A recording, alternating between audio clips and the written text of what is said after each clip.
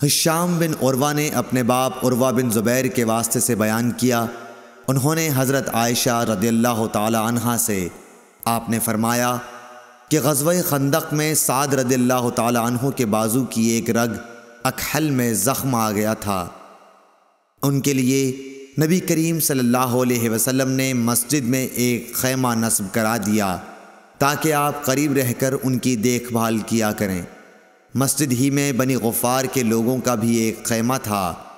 साद के ज़ख्म का खून, जो रग से बकसरत निकल रहा था, बहकर जब उनके खैमे तक पहुँचा तो वो डर गए। उन्होंने कहा कि ए खैमे वालों, तुम्हारी तरफ़ से ये कैसा खून हमारे खैमे तक आ रहा है? फिर उन्हें मालूम हुआ कि ये खून साद के ज़ख्म से बह रहा है। हज़रत साद रदल्ला तु का इसी ज़ख्म की वजह से इंतकाल हो गया। सही बुखारी हदीस नंबर चार सौ तिरसठ।